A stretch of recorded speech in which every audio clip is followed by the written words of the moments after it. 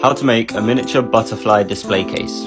Firstly, cut some strips out of balsa wood, layering them up to give them some thickness.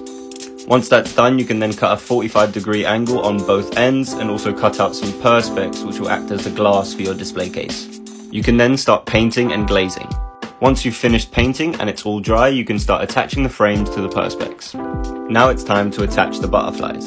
Using a small dot of glue along the spine of each one, position the butterflies however you like and allow the glue to set.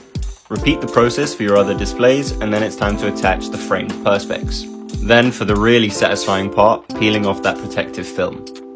Once that's all done, you should be left with something like this, and all that's left to do is find a nice space to hang them up. And that's how you do it. Don't forget to like, follow and share. Go check out my other videos for some more miniature tutorials and to see my other miniature makes.